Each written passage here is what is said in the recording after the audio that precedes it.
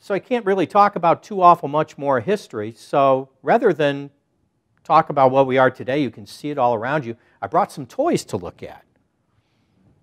First one is, make sure I got this right side up, is from the class of 1895, and all the young women in the class of 1895 embroidered their names to give this to the dean. Presents for teachers. I'm all for it. This is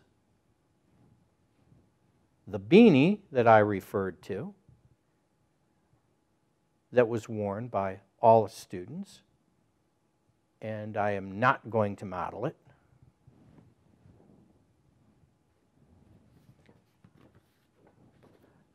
The, the desperation of the moment just a quick handwritten sign to stick up, there's still tape marks on it, in the windows downtown prior to PowerPoint posters and everything else. But the need to get the student viewpoint out there is seen in these two handwritten pictures, or posters which have survived.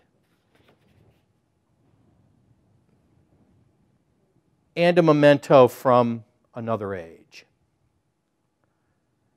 We have all these artifacts and more, along with the records of the college, in the archives of Cazenovia College, the Frederic and Jean Williams archives, located in the basement of the library.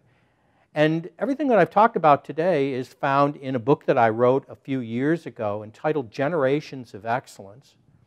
And I, I hope that you get a chance to take a look at that book and read. There's a lot more in there about the school and a lot more in there that really foreshadows from the 18, all the way from the 1840s where this school is going and where it can go. It's a pleasure to think about the past of Cazenovia College because it does affect our present so much. And if history repeats itself, you know, we're on our way to a strong and healthy 21st century.